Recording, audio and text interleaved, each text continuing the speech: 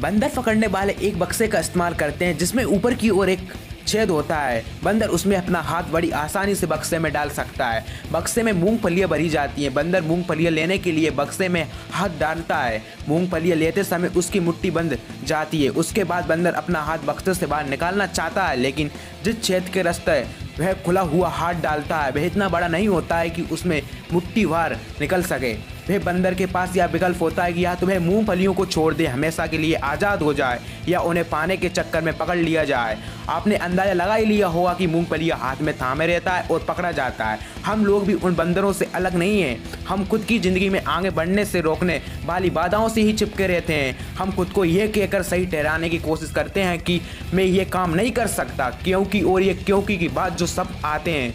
वे इन बाधाओं को ही बयां करते हैं जो हमें ज़िंदगी में आगे बढ़ने से रोकती हैं। सफल लोग बहाने नहीं बनाते, सफल लोगों के पास हज़ारों रास्ते होते हैं हर कार्य को करने के लिए।